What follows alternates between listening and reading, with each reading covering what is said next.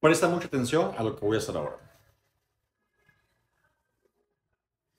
Hola mi amor, ¿cómo estás? Oye, solo quiero decirte que en realidad te echo mucho de menos, que te extraño y que lo que más desearía ahorita es poder darte un beso. Hoy he tenido un día bastante complicado, pero bueno, solo quería que lo supieras. Te escribo rato. Te amo. Bye.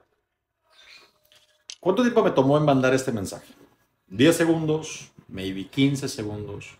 Entonces, no hay excusa que valga cuando una persona le escribes a las 10 de la mañana y te contesta a las 8 de la noche y su único argumento es que hoy tuve un día muy complicado, hoy no tuve tiempo de nada.